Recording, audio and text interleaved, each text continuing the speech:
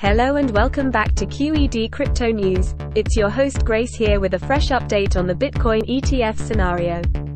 Today, we're going to discuss how institutional giants are gearing up for what seems to be an inevitable Bitcoin ETF battle following a regulatory nod. Insiders from BlackRock and Invesco have suggested that approval for a Bitcoin ETF may come within the next six months. This timeframe estimation comes straight from industry experts, and it's causing quite a stir among the major players. Galaxy CEO Novogratz has predicted fierce competition in the aftermath of this approval.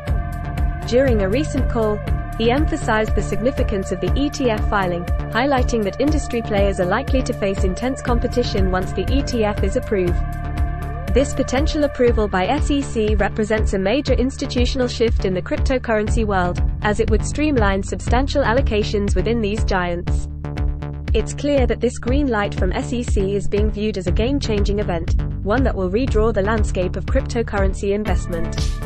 While several institutional giants have previously filed spot Bitcoin ETF applications with SEC, all have either withdrawn their applications or were denied. But now, with renewed optimism around regulatory acceptance and a clear readiness among these institutions for battle, it appears we're on the cusp of witnessing an exciting new chapter in Bitcoin investing. The race has begun and trust in institutions seems to be at an all-time high.